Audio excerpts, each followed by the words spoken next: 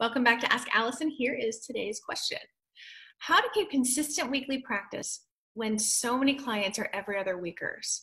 I tend to have one big booming week followed by a wimpy week, etc. No matter how much I try to balance it out and alternate people, it seems to come in waves. So, first, I'd like to thank Therapy Notes for sponsoring us. Um, I would track the timing of when clients move down to biweekly. Of course, every client's going to be different, but you may see some patterns. So if you see that Tim went biweekly at 12 weeks and Sean at 10 weeks and Dan at 11, you might find some averages that you can work with to start to anticipate this with your clients.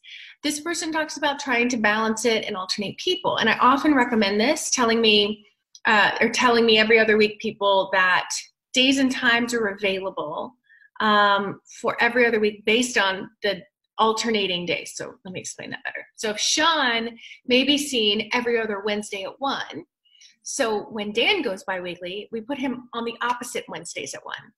When then Tim may be Tuesdays at 10, and that opens up space for the next person who moves every other week to do the alternate Tuesdays at 10. And I suspect that this might also be a being directive or a boundary issue also. So if you say, I can see you two Tuesdays from now at 10, and pause to see if they can do it, you may be surprised that they fit it in. If they can't, then you can offer another alternative. But don't be afraid to be directive and guide them exactly what time you want them to come in.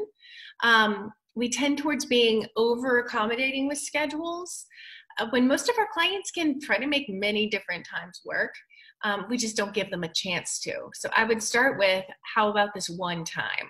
And if they're like, oh, I really can't do that, then go to the next possible time. Um, yeah, I hope that helps. We have more systems over in the Abundance Party if you guys need them. We support people with this every other week stuff a lot in there because it's it takes some practice and some finagling too. Um, that's over at abundanceparty.com. If y'all have questions for Ask Allison, please shoot me a DM over on Instagram where I'm abundance underscore practice underscore building. Have a great day.